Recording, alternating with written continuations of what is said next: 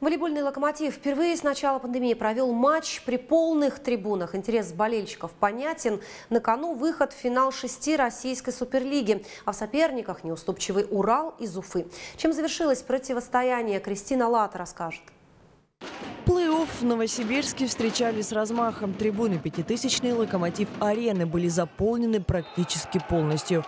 Присутствие такого количества болельщиков – забытое для волейболистов за сезон чувство. Ну, на самом деле очень приятно играть в полном зале. Давно этого не было у нас в волейболе.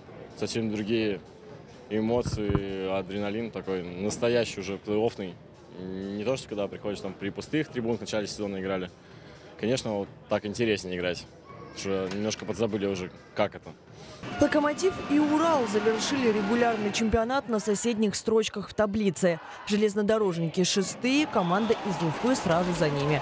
Оба матча, которые соперники уже успели провести, завершились в пользу «Локомотива». А в одном из последних туров регулярки новосибирцы и вовсе прошлись по уфимцам катком.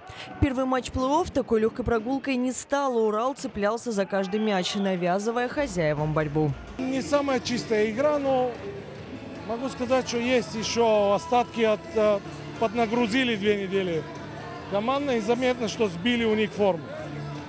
А, но сейчас отпускаем и надеемся, что медленно-медленно, шаг за шагом, следующими играми будем э, выглядеть лучше. Все решили мелочи, в которых «Локомотив» даже под физическими нагрузками явно оказался сильнее.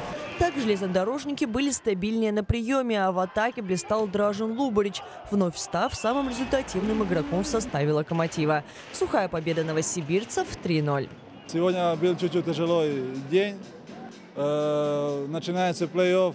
Задачу надо исполнить да, чтобы пошли в Москву, надеемся.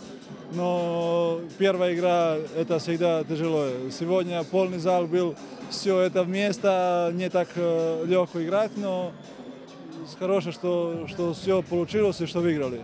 Если «Локомотив» продолжит в том же духе, то субботний матч станет последней домашней игрой сезона. Серия плей-офф длится до двух побед. И в случае успеха в ответной игре в Уфе 28 марта железнодорожники обеспечат себе путевку в финал шести.